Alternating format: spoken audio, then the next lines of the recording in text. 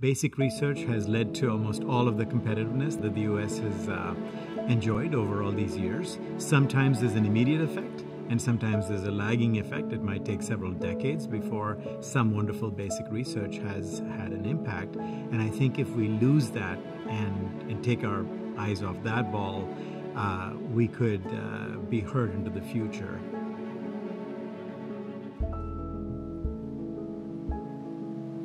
That's perhaps the most important thing which I believe the Council could focus on. A related piece, of course, is talent.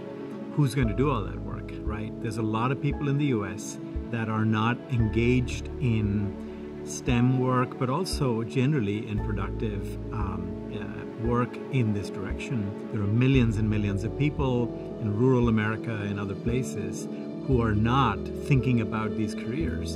And so, how do we engage them alongside working well with the international uh, relationships and partnerships, which are critical?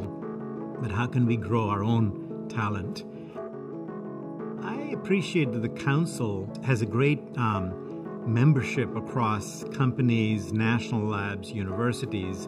And so, uh, if the Council's looking at competitiveness, I think the core of competitiveness, the foundation of competitiveness, comes from basic research, comes from having the right talent and figuring out how partnerships work.